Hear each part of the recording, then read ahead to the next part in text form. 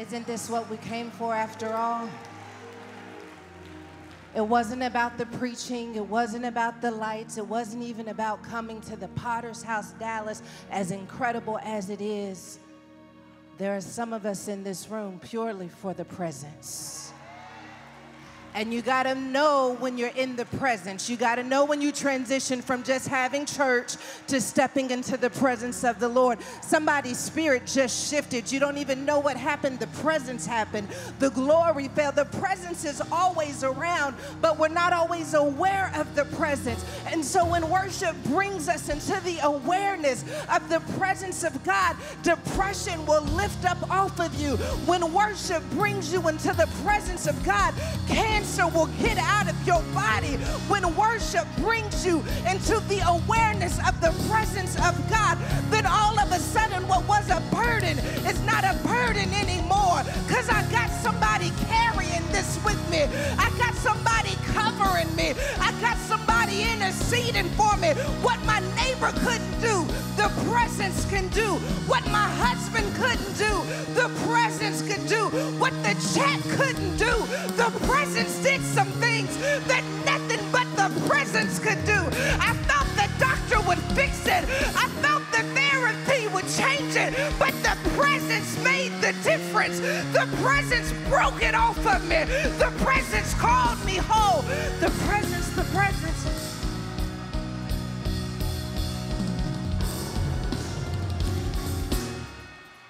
Soul has got to dwell in the presence. It's got to dwell in the presence. I feel like somebody just took authority over where they dwell. I think somebody just served themselves an eviction notice. I can't live in this space anymore. I got to move into the presence.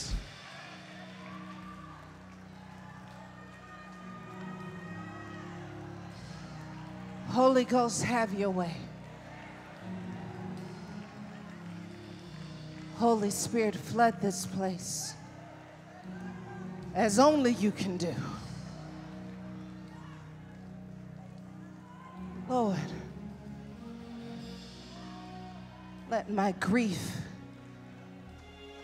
have a confrontation with your presence. Let my pain have a confrontation with your presence. What I love about the presence of God, we got dressed up to come to church The presence doesn't require you to dress anything up.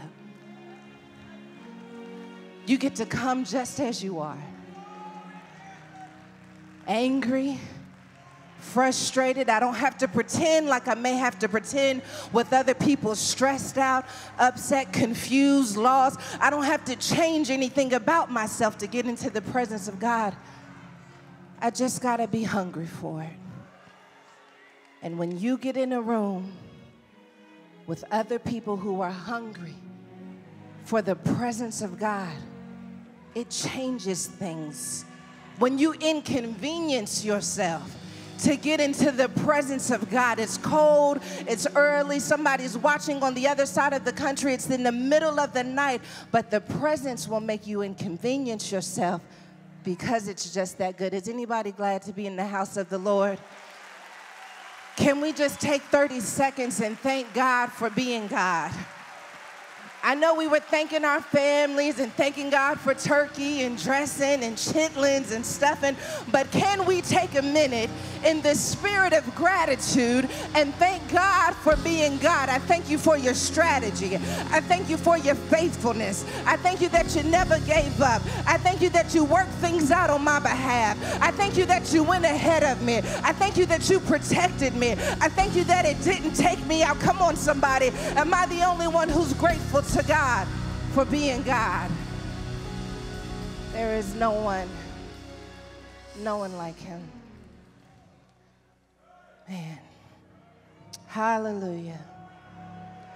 Thank you, Jesus. You know, I am. Um, imagine my father being on vocal rest was going to be a lot different than it's played out. I thought to myself that this would be my opportunity to finally use some of the things they said to me as a child on him. Ah, ah, ah. Did I hear you say? Ah, ah, ah, I thought, I thought God was releasing that spirit on me. Uh, uh, uh, watch your mouth, watch your mouth. I thought, I thought that's what was going to happen, but um, I don't know if it's like brainwashing as a child. My spirit wasn't released to talk to him the way that I wanted to talk to him on this vocal rest season because I thought he can't say nothing back. Now was your time to re- at, at, at him, but it hasn't been all of what I had thought it was going to be. But can we just thank God for a minute? Not just for Bishop. Let me tell you how legendary Bishop is. Even though he is on vocal rest, his work is not resting. Oh man. That means that even though he's taking a moment to rest, because God went ahead of him, he's already has strategy for how to move his work, his ministry, his legacy, even while he takes a break. You see, you guys must not know that on December 1st, Amazon Freevee is going to be the first platform that Bishop Jakes is on in which they are making room for faith and Amazon. This is a historical deal, and he's doing it on vocal rest. You better celebrate because God's saying, I'm going to bring you, you better watch who you're connected to. I'm going to bring you into a season where even when you're rested, you're working things out. Your gift is going ahead of you. On December 1st, I need you all to mark your calendars. December 1st, Bishop Jakes is going to be on Amazon Freevee. It's going to be streaming on all of your devices. This means that Bishop is going to be in 180 million homes. That means the very word that you inconvenienced yourself to be a part of is going to be reaching 180 million homes. That means that this word is literally going into the world. And so, Bishop, I thank you so much for your heart to serve for your heart to continue working, sending emails, making sure the best of the best is available. Y'all gonna have Jheri Curl Bishop, Bearded Bishop, Black Hair Bishop, all on Amazon Freevee. It's gonna be so much content, and I have to tell you, I'm gonna get into the word, but um, one of the things I prayed for as a daughter, the more that I saw my dad really building this church, is that God would call people into his life who would help him bear the weight, hold up his arms. And I see our incredible staff, our team, our worship ministry, our ministers, our elders. Thank you all so much for the work you do because you believe in the grace and the anointing that's on Bishop's life. Thank you for covering and protecting in all of the many ways that you continue to serve. And what I love about God is that as my dad has gone into new spaces, God gives him new support for that new space. One of those structural systems that God has in place is Pastor Mike Phillips. And today is his birthday. And I just want to take a moment and thank you for answering the call to be a part of helping Bishop to take what's in Bishop's heart and in his mind and bringing it to manifestation. Pastor Mike Phillips is part of the reason why the Amazon deal came through because he heard Bishop say something and felt like he could add his gifts and talents to a part of it. Pastor Michael, we thank God for the gift of you, the gift of your life, the gift of your mind, your creativity, and for everything you do as a brother for dad. Thank you. We appreciate you. Can you help me love on Pastor Mike?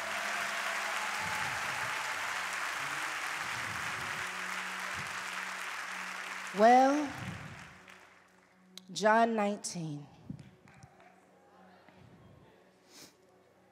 John 19, verse 26. I have two texts I would like to introduce. First one is short we find Jesus on the cross. He has completed his ministry on the earth. The Roman soldiers have done the painful, grueling, defeating task of taking his body and wounding it for our transgressions. And as he's on this cross, he does something that I always found to be unique. I believe God gave me some perspective about this moment on the cross that I'd like to share with you. John 19 and 26, Jesus is literally hanging on the cross. And Jesus looks down and he sees his mother and the disciple whom he loved, John. Because at this point, some of the other disciples had found themselves either denying him, betraying him, or staying as far away from him as possible. But Mary and John are there at the cross. And Jesus, in all of his pain, his brokenness, his weariness, looks down and he sees John and Mary my text says, When Jesus therefore saw his mother and the disciple whom he loved standing by, he said to his mother, Woman, behold your son. And verse 27 continues, it says that after he says, Woman, behold your son, that he looks to the disciple and says, Behold your mother. And from that hour, that disciple took her to his own home. Let's skip over to Romans 5 1 through 5. Romans 5 1 through 5 is not unfamiliar. It says, Therefore, having been justified by faith, we have peace with God through our Lord Jesus Christ through whom also we have access by faith into this grace in which we stand and rejoice in hope of the glory of God. And not only that, but we also glory in tribulations. Knowing that tribulation produces perseverance, and perseverance, character, and character, hope. Now, one thing to know about hope is that hope does not disappoint because the love of God has been poured out in our hearts by the Holy Spirit who was given to us. Spirit of the living God, what a precious God you are. An all knowing, only loving, God that you are. God, we welcome you further into our hearts, further into our minds, further into our issues, our problems. God, some of us, our mind is racing, worried, weary, trying to make sure we're covering it all. God, we need your presence more than we need anything. And so, God, we invite you to give us clarity, to provide us with peace, to fill us with your spirit as only you can do. God, settle us in an unsettling season. Establish us in the middle of the shaking.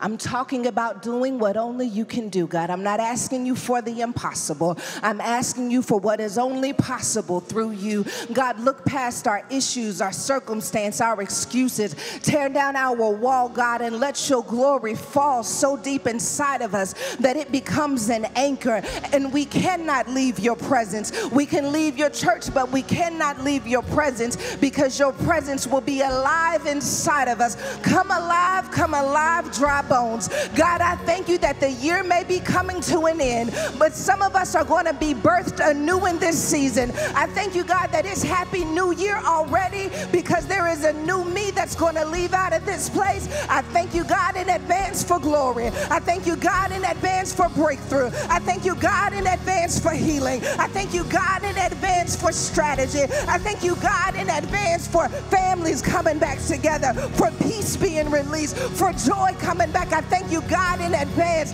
because I recognize that that is what you desire for us. So, God, let this word be clear. Let it be prophetic. Let it be none of me and only you to the extent that lives would be changed forever for your glory. In Jesus' name, amen. Amen. My um, subject for today is hungry for hope. Hungry for hope.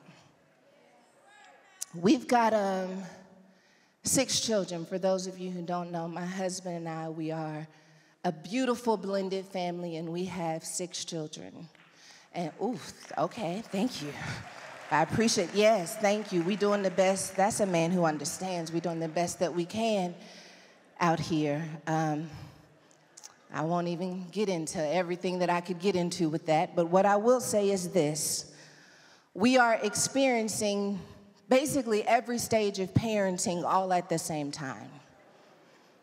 We've got a six-year-old all the way up to a 26-year-old. Yeah, pray.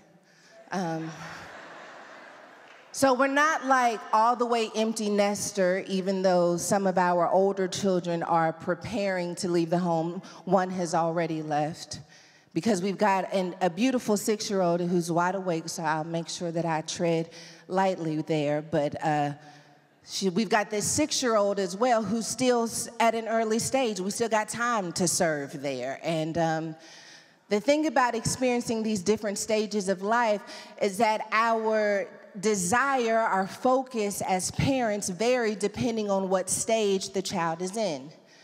So with the six-year-old, we're still discovering her personality.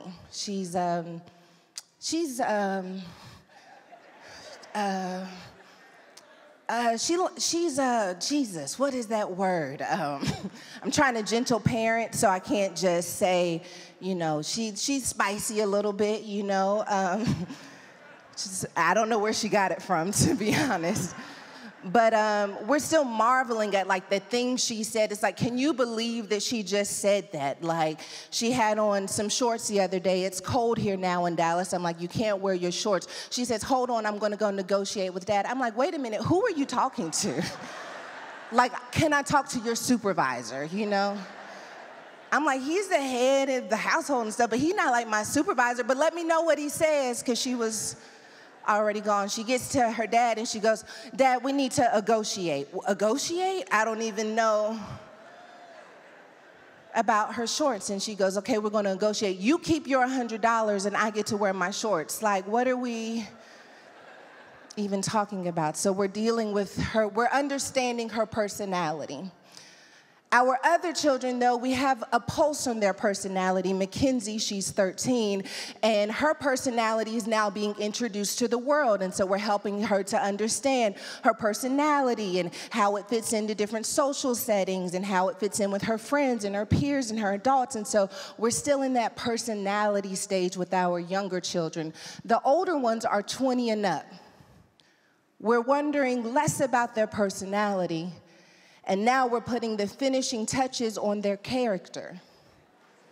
There's this parenting transition where it's less about, oh my gosh, can you believe what they said? And more about who are they? And how does who they are stand up to the world that awaits them? We're putting the finishing touches on their character, their work ethic, their integrity, how they communicate. We're helping them to understand that there are some things about character, having good character, that will set you up for the rest of your life. It'll determine whether or not you have promotions, it'll determine whether or not you stay married. There are character things that, have anything to do with personality. You can have a good personality and have bad character. We don't really talk about that much. You funny, but you lie through your teeth, babe. Like, geez, that's a personality trait, but that character part is so important. Personality versus character. I was reading this article by a doctor in psychology today. He was talking about personality versus character. He says that personality traits are often hereditary. If you got all of the family in a room together, there would be some similarities because they were raised in the same culture, the same household, and as a result of that, have similar personalities. But if the people in that family could talk, they would tell you we have similar personalities, but we have difference in our character. Yeah, we just survived Thanksgiving where we had similar personality as long as we could talk about one thing we were okay. But when we started talking about mental health or politics and what's important to us now we're getting into some character fundamentals. And as a result of that there can be some division not based on personality but based on character. Personality they say changes very easily. You could be in a room with someone and think that, oh, they don't talk much, and then you get them alone and they awaken their personality, release their personality, because in this room I couldn't be myself, but now I'm here and I can release my personality. But character is not that way. Character doesn't change depending on the room you're in. Character is the same regardless of where you put it because character is not rooted in likability, character is rooted in a belief system. Personality is likability. It's whether or not you can engage with people. Can you strike up conversation? Do you want to strike up conversation? Do you like to be alone? But character is rooted in a belief system, and a belief system is rooted in conviction. Help me, Lord. Character is rooted to a belief system. Let's talk about some examples of a belief system that produces character. I think it's important that we see character as neutral. Sometimes we tell people that they don't have any character, but the truth is that character itself is actually neutral. It is neither good nor bad, it just depends on the belief system connected to it. So, character could be good or bad. The belief system that produces the character is what ultimately determines whether or not the fruit of that character is something worth passing on for generations. Okay, let's give an example. There is someone who has a belief that no one can be trusted. And so their character makes them skeptical. Skepticism has become a part of their character because they have a belief that they cannot trust people. We say it's just how they are. No, that's a part of their character because it is a part of their belief system someone doesn't believe that it is possible to get out of their community, someone doesn't believe that it's possible to really start a business and have a successful business, and as a result of that, doubt is now one of their characteristics. It's a part of their character trait. It's not just who you're upset with who they are, it's not just who they are. There is a belief connected to why they are, and that's why it has become a part of their character. There are some people who believe no matter what I do, I'm going to do it with excellence because I believe that everything I touch is important, no matter how big or how small it is. And that's why they bring the character that they bring to whatever the work they do.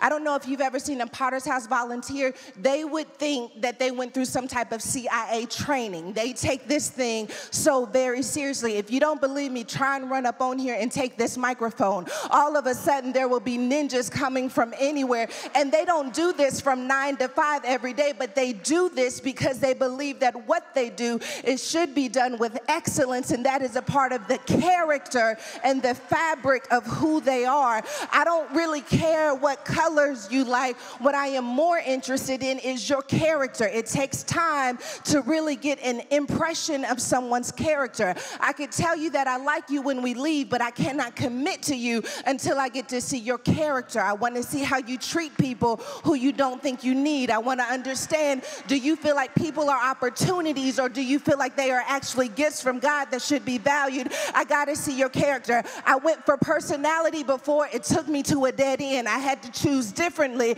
And when I decided to choose differently, I started building friendship based on character. I started hiring based on character. I need to know who you are. And I'm patient enough to wait and see your character. I am not so desperate that I will fall in love with your personality and miss out on the reality of who you are. I will hold my heart back. I will hold my money back because I want to understand are you responsible? Do you have work ethic? Are you faithful? Your character matters.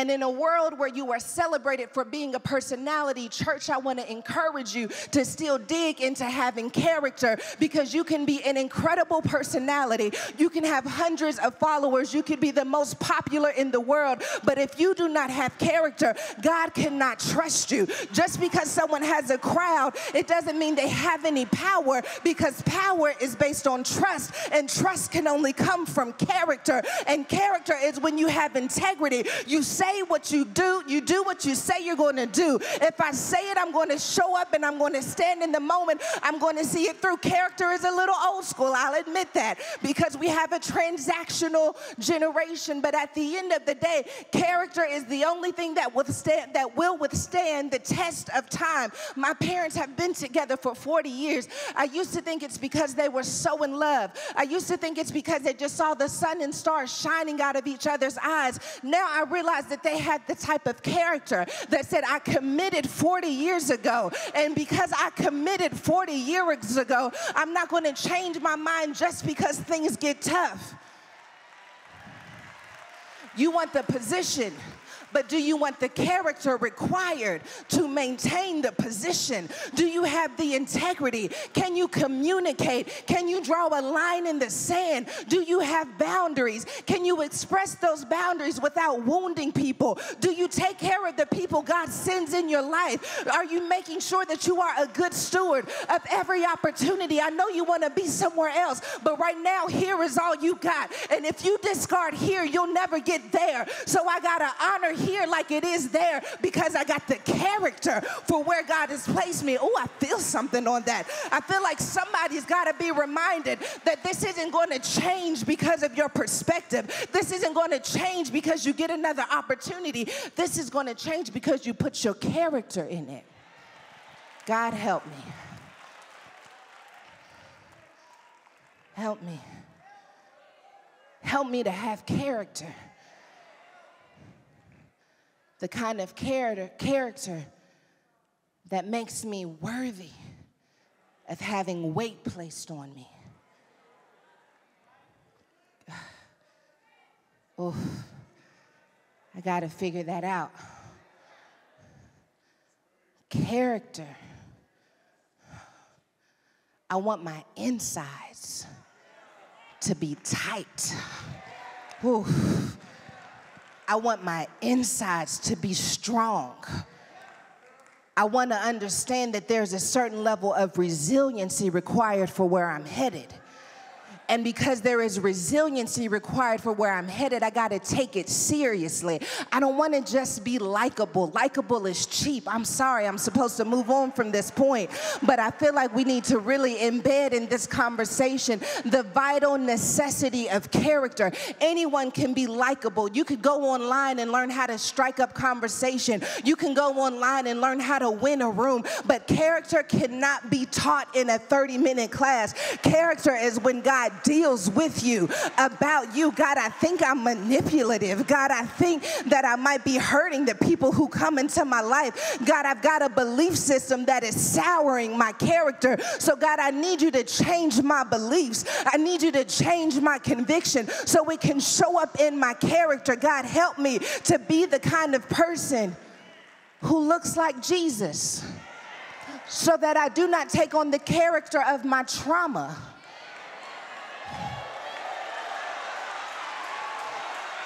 so that I do not take on the character of my fear, so that I do not take on the character of who everyone else thinks I should be, of my heartbreak, of my pain.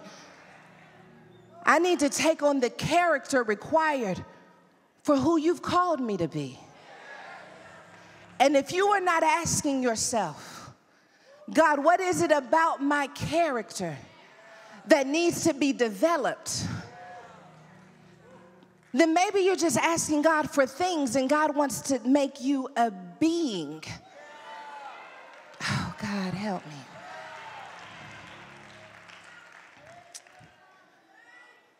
me. when Adam and Eve are in the garden and the serpent asked Eve, Did God really say? It looks like in that moment, from her perspective, I imagine I wasn't there. That maybe she's just engaging in dialogue. What she doesn't understand is that the enemy is after her belief system. Because if the enemy can get her belief system, the enemy can change her character. And if the enemy can change her character, the enemy can change her actions. The enemy can change what she believes is possible. The enemy can change her dominion. Oh, you think that this attack is over your finances. You think the attack is over your family. You think the attack is over your book. The attack is not over your ministry. It is not over your family. The attack is over your belief system. Because if he can get a hold of your belief system, then it will change your character. And if it changes your character, you will not walk in power. You will not walk in authority. You will not walk in boldness because you will have a belief system that says, I cannot trust who God says I am. I cannot trust what God says about me. And if I cannot trust it, then I won't step out on it. So if the enemy can change your belief, the enemy changed somebody's belief, but I'm going to prophesy in this room tonight that the same enemy that changed your belief system is going to have to get the hell up out of your beliefs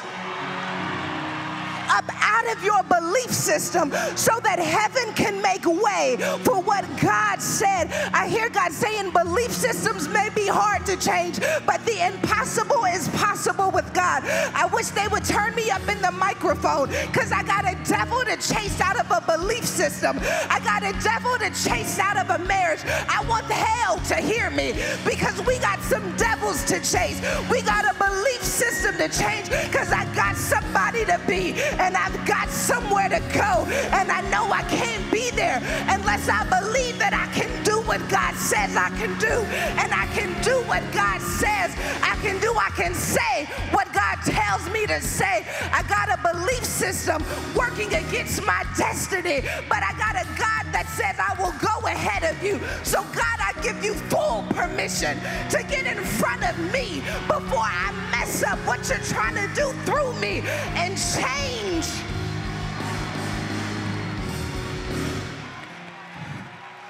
Change my beliefs so it changes my character. If you don't believe you can be a husband, you ain't gonna never be one. But if you believe that if God brings the right person into your life, that you have the character and the integrity and the discipline to treat someone like they are a gift from God, then God says, Now I can trust you. I feel God on this. If you don't believe you deserve it, if you don't believe you can do it, it's not just living in your beliefs, it's showing up in your character. So you think you, that everything is okay, but everything is not okay. Because that belief system that you're nursing is showing up in your character.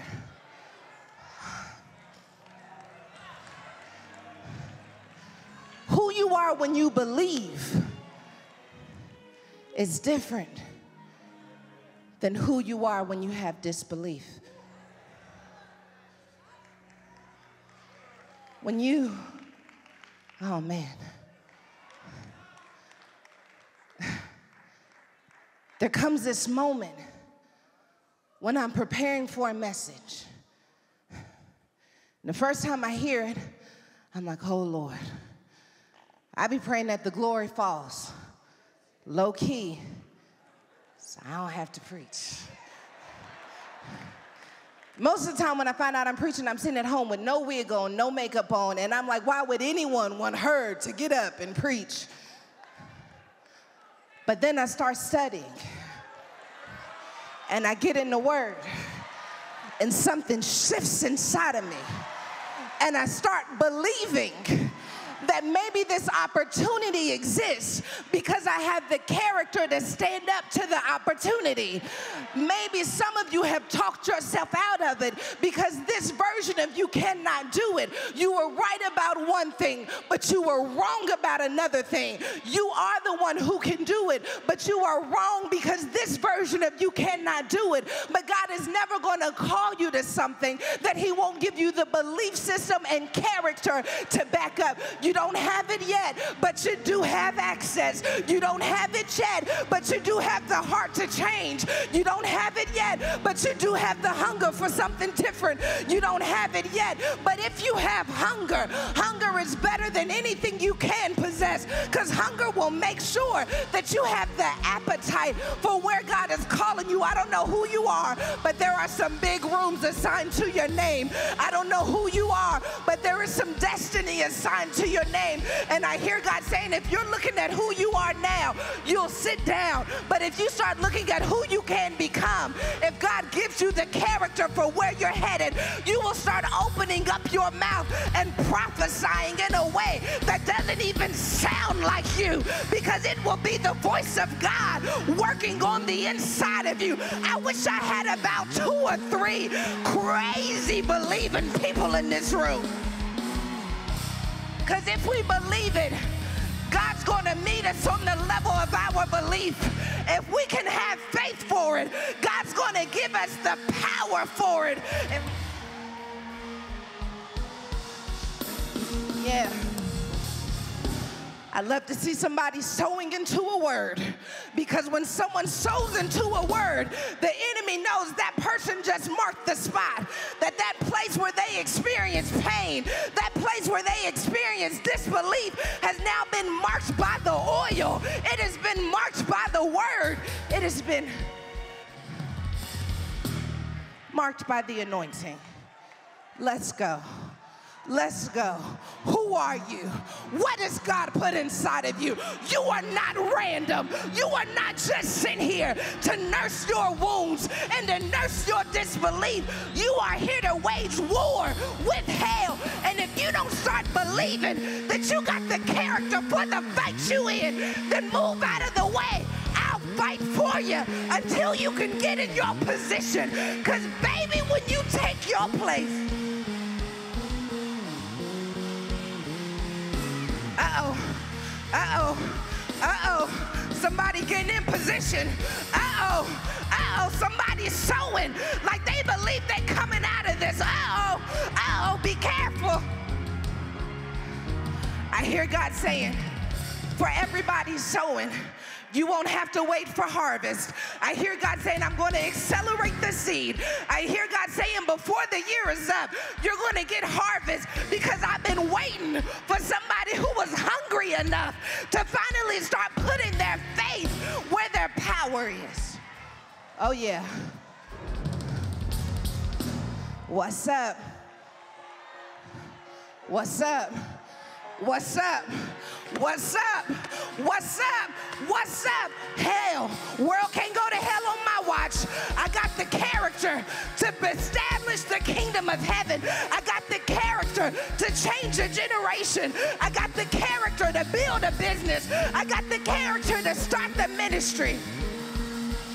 I believe it. I believe it. I believe it. I believe it. God said it and I believed it. God said it God said it and I come into agreement with who God says I am. I come into agreement. Hell, you got to get off of me. I'm coming out of this.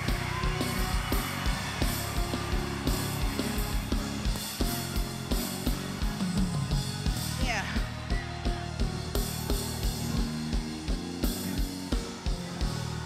This. This ain't a devil issue. This is a character issue.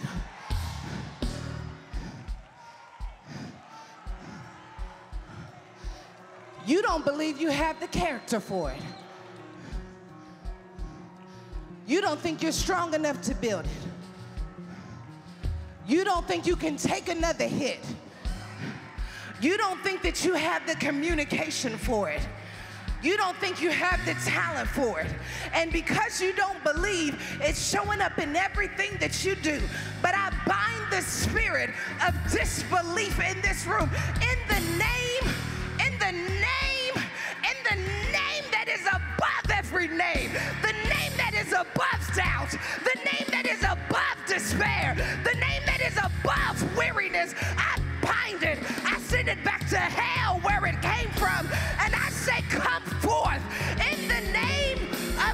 Jesus. I say, come forth. Dry bones, dry bones.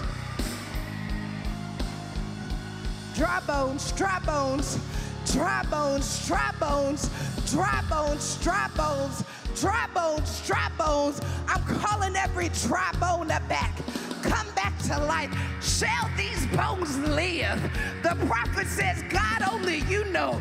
God says, if I asked it, I expect it. And because God has been asking your dry bones to come to life, I come into agreement that if God asked it,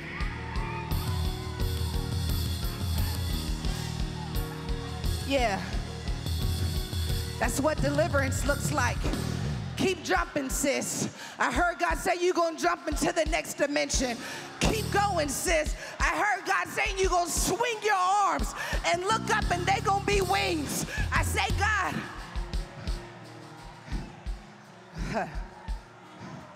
Hallelujah. Hallelujah. What we preaching about? Hallelujah. Where we going, family? You are the church. You are the answer that the world needs. I know you're tired of hearing about shootings, but God says every time you hear a headline, I want you to hear the call up underneath it. The call is saying if you don't get in position, then we might lose another soul. If you don't get in position, we might not be able to save these babies. You count on somebody else to do it. God said, I'm calling you to be a part of it. I can't do this thing without you, but my God, if you would do it with me, we don't even need everybody. One can chase 1,000. What's 60,000 of us gonna do in this thing? They say it's 9 million people in this country. What are we gonna do about it?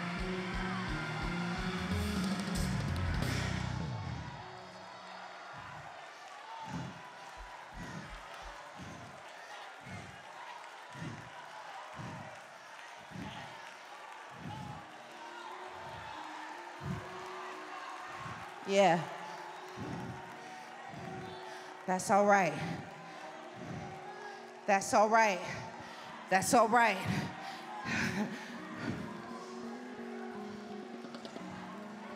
Hallelujah. Break loose. Hallelujah. Hallelujah. We're standing under an open heaven, said Miranda, and I dare not jump back into my notes when somebody just got what they needed. Oh God, if you're here. Oh God, if you're breathing. Oh God, if you're moving. Oh God, if you're transforming. Oh God, if you're changing. Take my pain. Take my rejection. Take my abandonment issues. Take this spirit of lust up off of me. Remove me from this addiction. Take the taste out of my mouth. I'm hungry for it.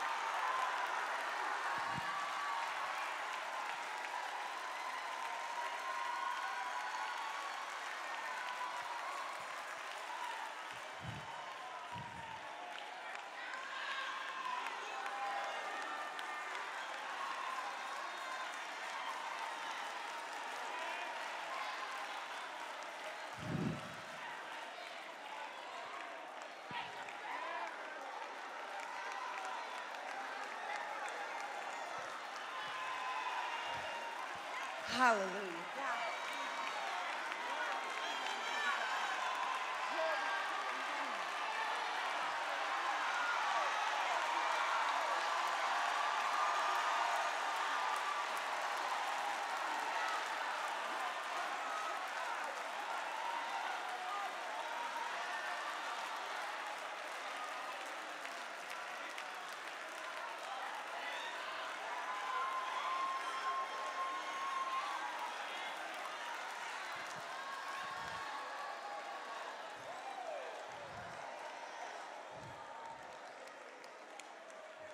Romans, Romans 5 gives us a formula for hope. It says, tribulation produces perseverance. Perseverance produces character, and character produces hope. What makes this formula problematic for me? Sometimes I get stuck persevering. As a matter of fact, we have a culture that commends staying stuck in perseverance. When I'm not at my best and I'm being petty, we call it the struggle Olympics, where everyone wants to talk about how they're stuck persevering. And without knowing it, we have a belief system that tells us that perseverance is the award.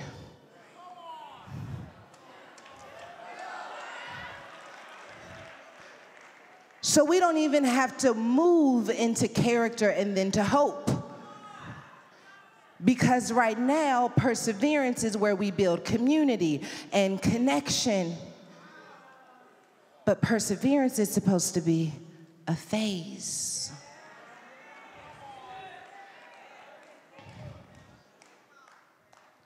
Sometimes life gets you stuck in perseverance.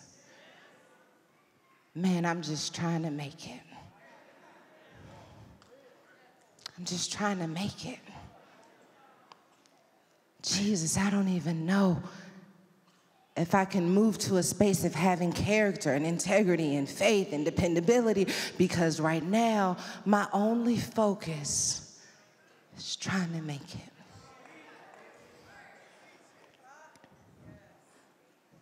I'm almost finished y'all really rearranged my notes, but um,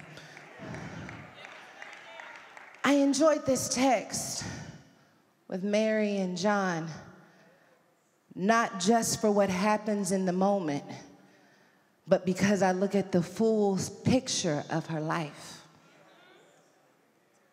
I look at the moment when we find Mary in Luke 1 and the angel of the Lord says to her, Blessed are you, highly favored amongst women. He says, Don't be afraid. You see, what happened is that God introduced a word, a belief system that Mary was initially afraid of. She didn't believe that she had the character for who the angel of the Lord said she was. And so she battles with this angel of the Lord. It's not the kind of battle that we think it is. She didn't fight him, but she allowed the thoughts of her inadequacy to have a confrontation with the word of who God says she is. And because she has that battle, we see a different Mary when the conversation is over. In Luke 1 and 45, it says, Blessed is she who believed. When I write my Ebonics version of the Bible, it's going to be blessed is she who changed her belief system. Because she was willing to change her belief system, there was a fulfillment of the things which were told her from the Lord. Thinking about her, where she starts in Luke 1 but where we find her in John 19. He says, the angel of the Lord tells her he's going to be the king of kings, and of his kingdom there will be no end. He gives her a hope. But something does happen in Luke 2. When baby Jesus is only a few days old, she takes him to the temple, as is the custom of that time. This hope that went from a word to a womb, from a womb to something she could hold. She's finally holding on to the hope of that word. And she takes the hope of that word into the temple and, and one person sees the baby and then they celebrate it and they're like, now I can go on and see the Lord. But this man, Simeon, says to her something that reveals that there is a dark side of hope. Simeon says in Luke 2:34, he blessed them and Mary and he says, Behold, this child is destined for the fall and rising of many in Israel, and for a sign which will be spoken against. Yes, a sword will pierce through your own soul. Wait a minute wait a minute, no, no, no, no, no. He's going to be the King of Kings. Of his kingdom, there will be no end. You got the wrong one. He says, no, he is destined for the rise and fall of many. But in the process of that hope being manifested, there's going to be a dark side of it. And in that dark side, it's going to feel like a sword is piercing through your own soul, that the thoughts of many hearts may be revealed. Can I tell you something? There's a dark side of hope.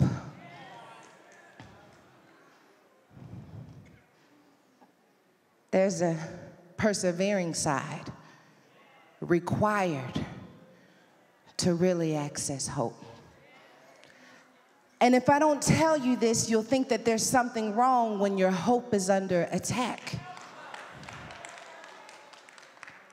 You'll think that maybe you lost it. You'll think maybe I don't have the character for it. You'll start to lose hope. So when I see Mary in John 19, I see a woman with a, a sword piercing through her soul. 33 years ago, somebody told me to expect my hope to be pierced. I can imagine seeing her son there slipping away. Her hope slipping away. That she can hear in that moment a sword piercing through her own soul. It's not happening to her, it's happening to the thing she hoped for. It's not happening to you, not necessarily. It's just happening to the thing I hoped for.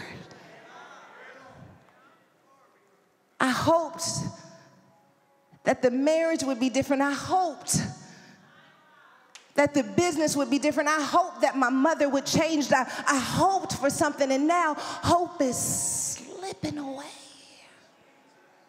Jesus, Jesus. I'm running out of time. I'm running out of reason. I'm running out of strategy. I'm running out of passion. I see hope slipping away. And all I can do is sit back and watch it. All I can do is sit back and persevere. I don't know what to say. I don't know how to fix it. I can't stand in front of it. My hope is slipping away. Jesus, her hope, looks down at her and says, Behold, you're looking at your hope slip away. Behold is about what you're looking at. Jesus gives her permission to look away from where her hope is slipping away.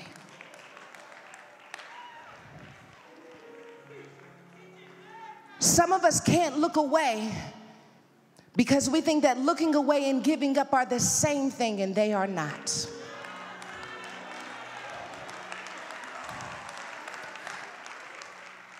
You've done all that you can do. You've taken me as far as you can take me, mom.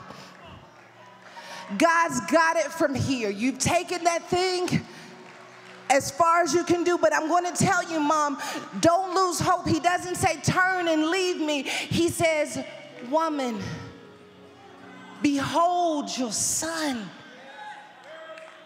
You're still a mother. Oh, God, I love this text because Mary already had children. It's not like she was going to be without children. But for some reason, Jesus says, I need you to remember what it's like to be called to motherhood. I need you to remember what it's like to be called to something that seems impossible. I need you to not lose hope in the character that brought you to this moment, even though you feel like what you hoped for is slipping away.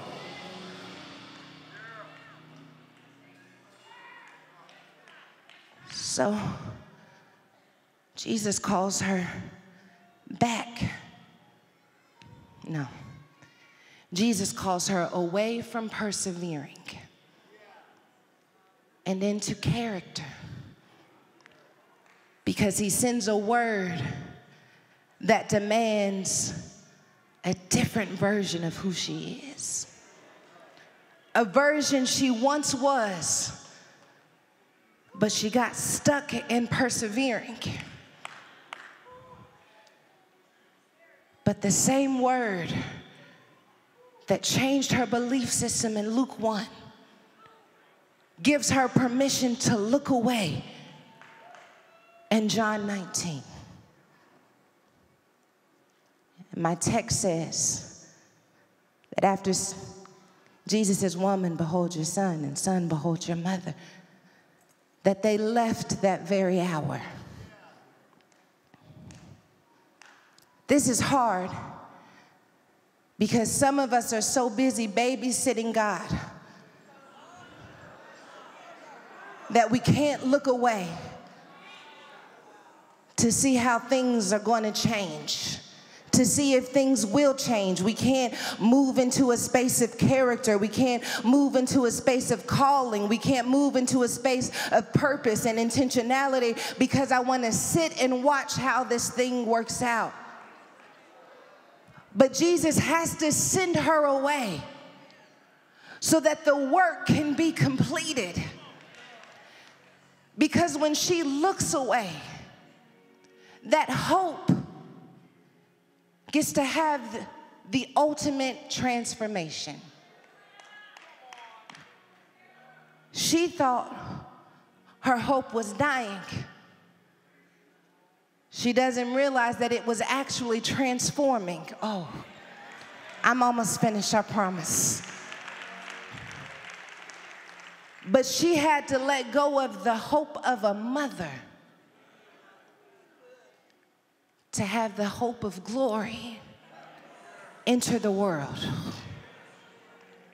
You can hold on to your hope for as long as you can. But there may come a, a, moment when holding on to your hope keeps God from introducing the hope of glory into your life. So you have to be willing to do the hard work of releasing the hope of what you thought it would be, the hope of how you thought it should turn out, the hope of what you wanted it to be. And trust that God can transform your hope to be something that you never could have imagined. Because when Mary sees Jesus again, he is not that boy who was beaten and wounded on that cross. He is not that boy who said, Why hast thou forsaken me? He's got holes in his hand, but the holes don't make him.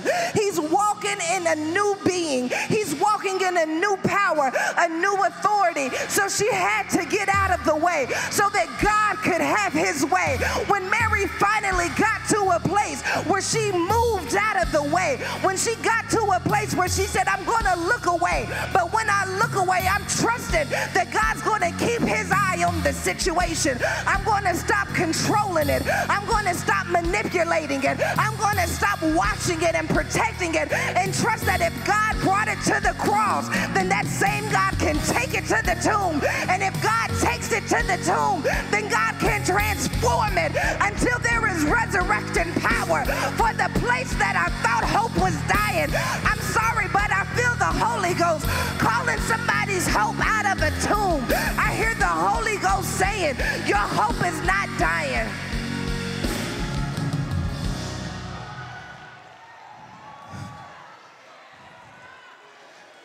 You're just hungry for the wrong hope. My wig is slipping, y'all. That's all right. Hungry for the wrong hope. You got your hope competing with God's hope. So you need to look away and trust that maybe I can't trust my hope. Maybe what I'm hoping for is too small. Maybe what I'm hoping for won't allow a person to change. Maybe what I'm hoping for is lost, but it's not dead. Just because hope is lost, it doesn't mean that hope is dead. Sometimes hope has to be lost so that it can be transformed. And I want to talk to somebody who lost some hope this year, and I want you to understand that the best thing you can do it's not get stuck in perseverance, but to step into character.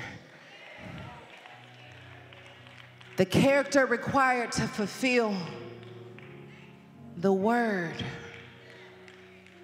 that still applies to your life.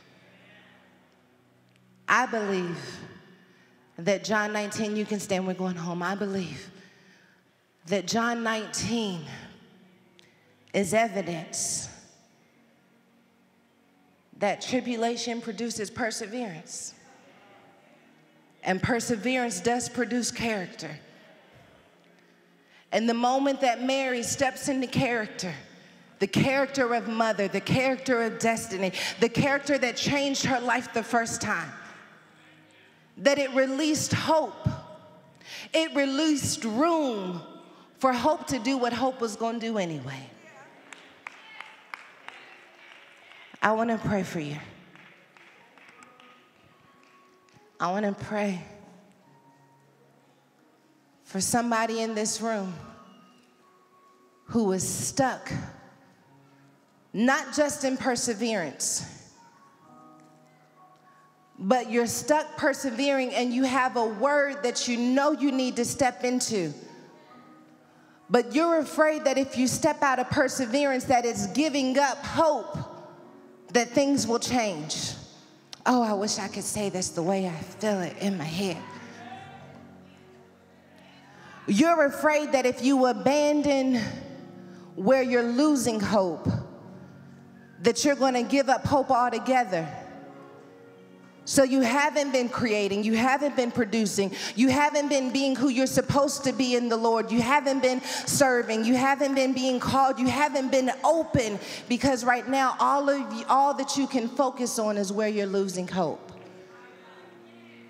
But I want to invite you to this altar as a sign that you're moving away from perseverance and trusting that God's going to cover where you were while you move into what He's been calling you to be. I wish I could name every circumstance in this room.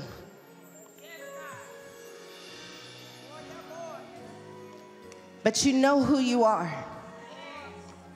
where you're shrinking to keep struggling. You're shrinking to stay loyal to a struggle. But there is a part of you that feels like,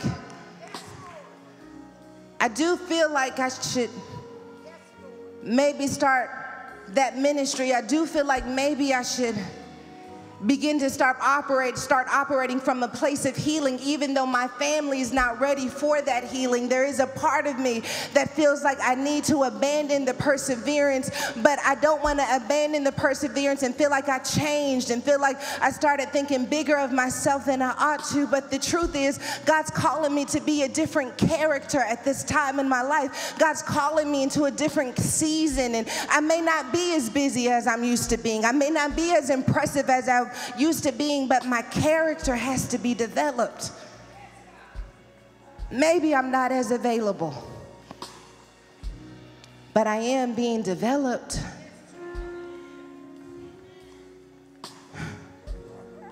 You staying, Mary staying there at the feet of Jesus on the cross was not going to change the outcome.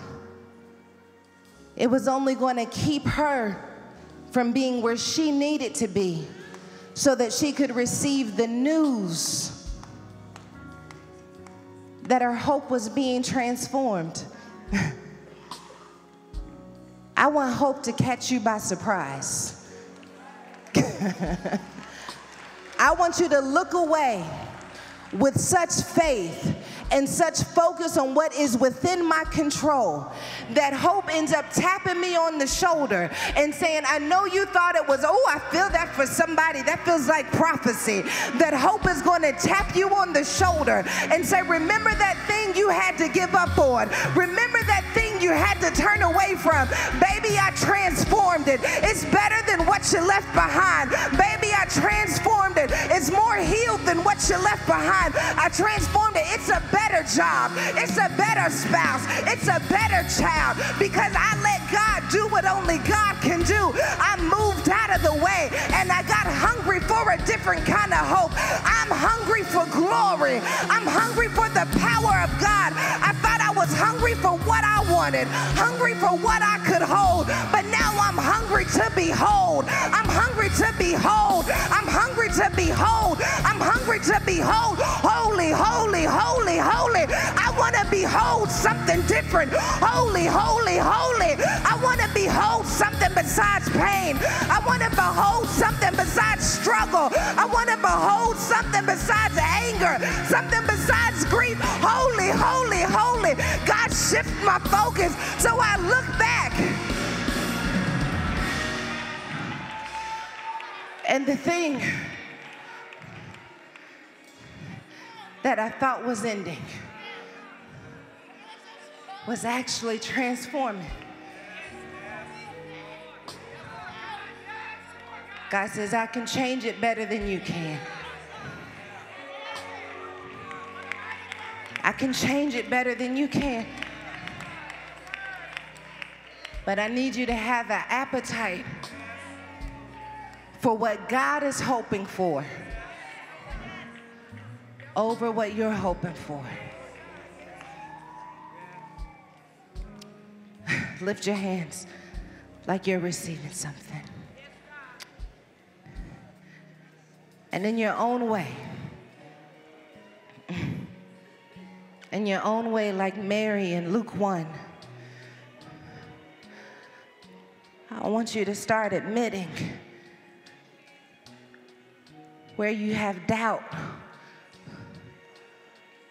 where you're struggling with belief.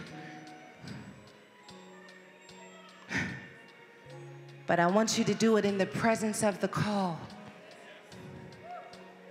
Blessed are you, highly favored, fearfully and wonderfully made. Yes, I called you an author. Yes, I called you a chain breaker. Yes, I called you able. I called you to integrity. I called you to sobriety. I called you to compassion. I'm calling you to discipline. God, we hear you calling. We hear you calling. But how could this be? Don't you know who I am? How could this be? How could this be?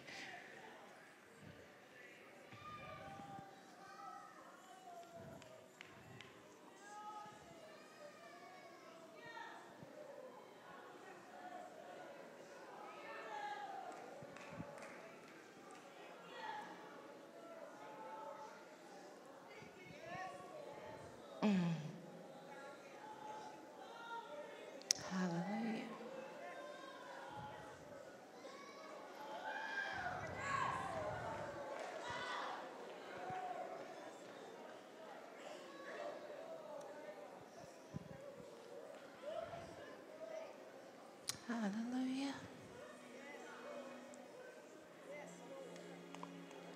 Laying down my hope. Oh, God, I'm going to look away. I'm going to look away. I'm going to look away. I'm going to look away from what's not going the way I thought it should go. God, I'm going to look away. But God, please keep your eye on it. God, please keep your presence over it. God, please keep watching over that child. God, please keep watching over that marriage. God, I don't think there's anything else I can do, but this is a job that only you can do. So, God, I'm turning my focus to you. I'm turning my focus from you to what you've called me to do to you and then to where you've called me to be, God. I thank you, Holy Spirit, that you are a full coverage, Holy Spirit.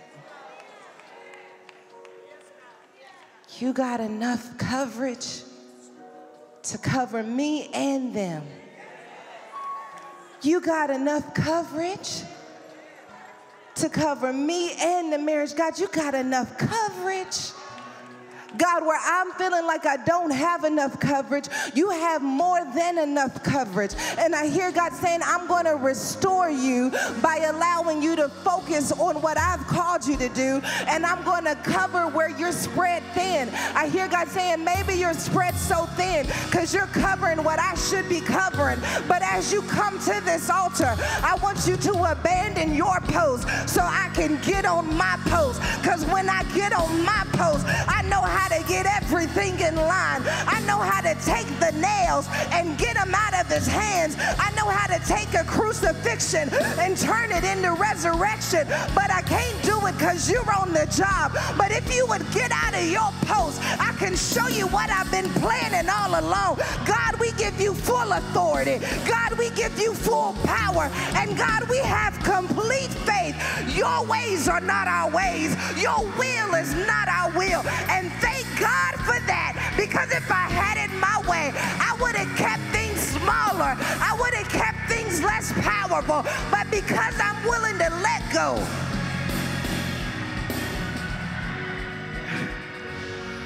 when you let go, God flows. When you let go, the Spirit can flow. When you let go, there can be breakthrough. When you let go, that's where the rivers come. I see you, Jessica, with rivers of living water coming out of your belly. I hear somebody just broke into a flow. I feel like somebody just released something that allowed them to start breathing again, that allowed them to start functioning again. I feel like there's breakthrough in this room. It's going to happen when you let go. It's going to happen when you let go. I hear God saying, let it out. I hear God say, release a roar. I hear God say, release the rivers. I hear God saying that if you release it, I'll flow in it. If you let it go, I'll break open the windows of heaven and pour out a blessing. You don't have room enough. Mary didn't have room for another son, but when God spoke a word to her, it stretched her capacity. I hear God saying, you got more capacity. You got you got capacity that you don't even know about. You're getting ready to tap into, oh God, I feel like prophesying. She went from persevering to capacity for more than she thought she had room for. Mary probably thought, I'll never have another child again. I'll never have another son. I'll never go through this again. God says you won't, but when I stretch you, you'll do it again because you have enough room to take on whatever I assign you to.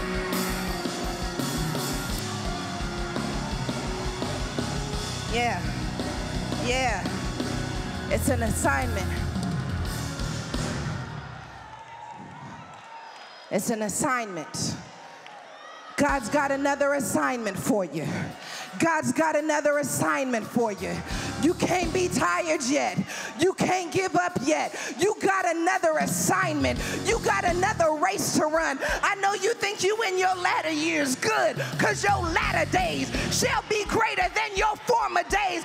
Where you at in this room? You think it's time for you to get ready to die? I hear God saying it's time for you to have life and to have it more abundantly.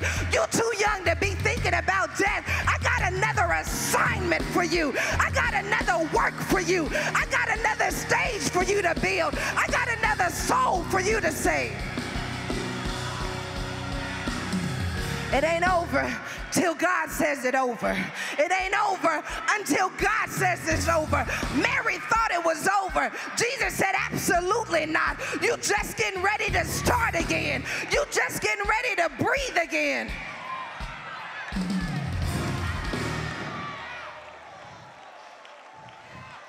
I'm supposed to be praying. But there's somebody at this altar. There's somebody in the balcony. I don't know who you are, but there's somebody in this room who was down to their last.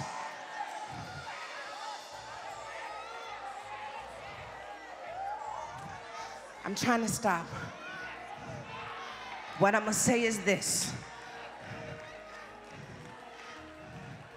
If Mary didn't view this properly, she would have thought that somebody took something from her, not realizing that God allowed them to hold it so that his work could be done through the betrayal.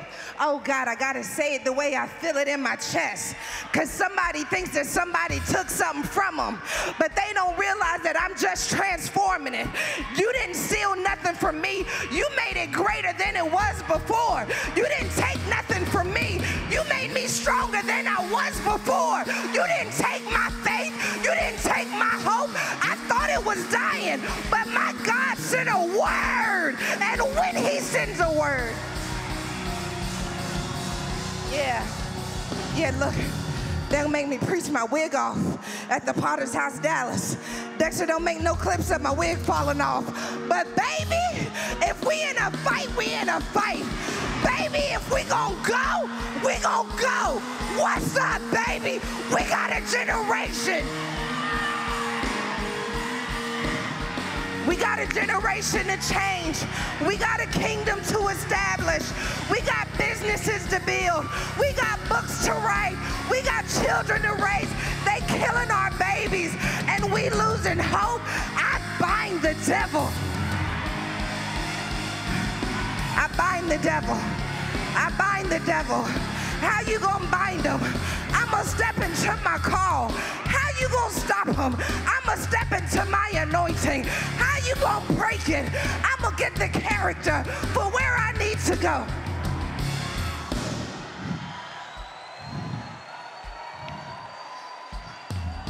All right. Let's go.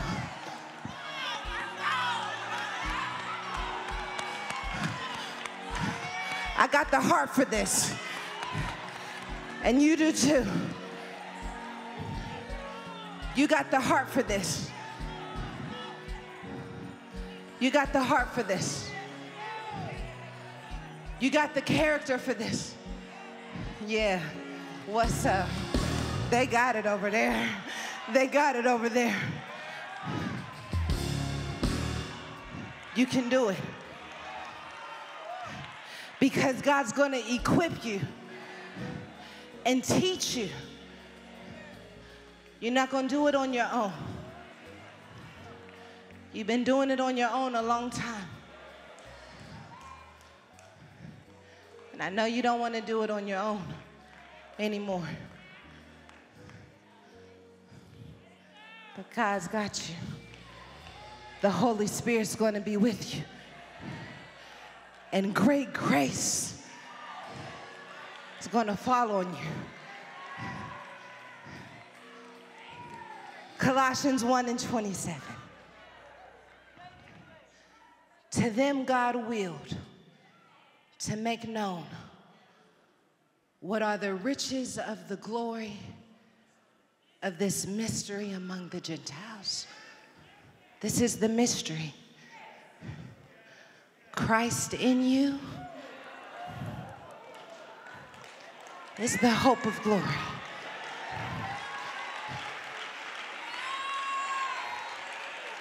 Christ in you, the hope of glory.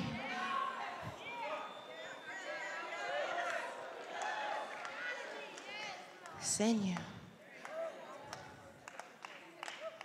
So, Christ, we receive you afresh.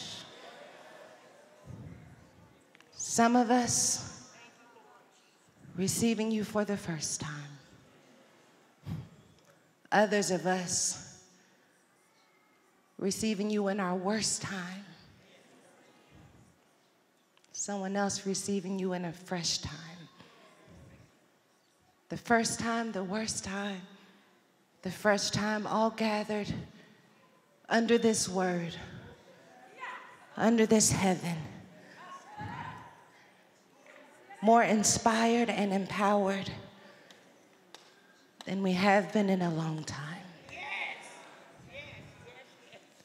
We acknowledge, God, that you sent a word for us.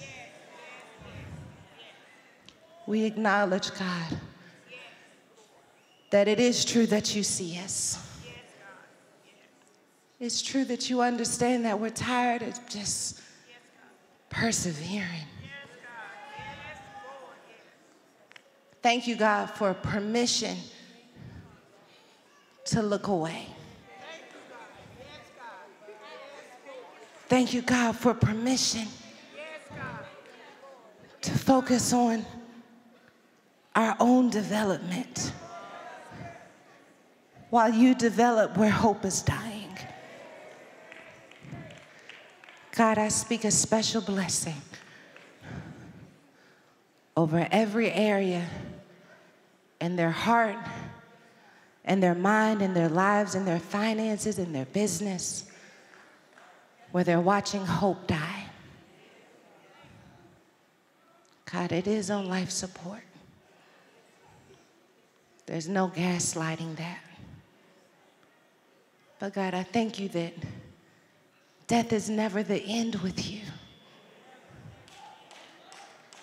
And so, God, I ask that you would stretch their perspective so that they would hunger for hope beyond their preferred outcome and instead settle on a hope of glory. And as they work out, as we work out, as we work out, the development of making our character become more like Jesus. I thank you that as you're transforming us, you're also transforming our hope. I thank you, God, that we're not at this altar as one person. Everybody here has their own area where hope is dying. So, God, I pray that you would make us more compassionate to one another, that we would have more grace, that we would not need to know every detail to know that everybody's looking at their own cross and so, God, I come into agreement with every person connected with this word. You're watching online. I come into agreement with what you're hoping for that hope for glory, that hope for transformation, that hope for change. I come into agreement because, God, I don't want the hope to just happen for me and in me. I want it to happen for every person connected to me. And so, God, I praise you in advance that my neighbor is going from perseverance to character and from character to hope.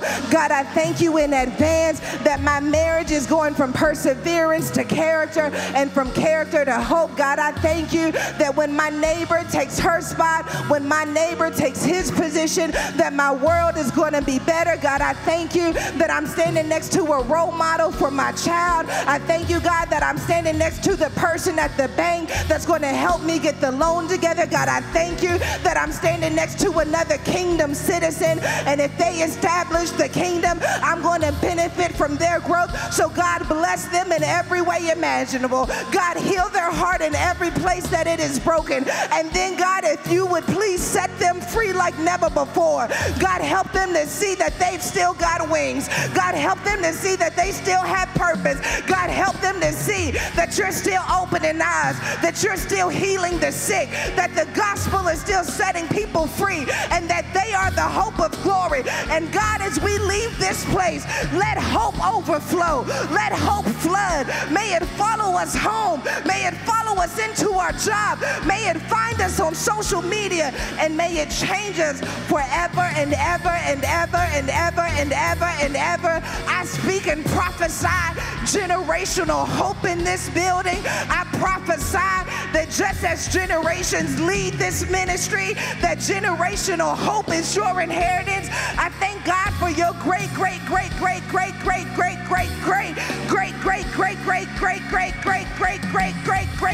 great, great, great, great great grandchildren, and what they're gonna do for my great, great, great, great, great, great, great, great, great, great grandchildren.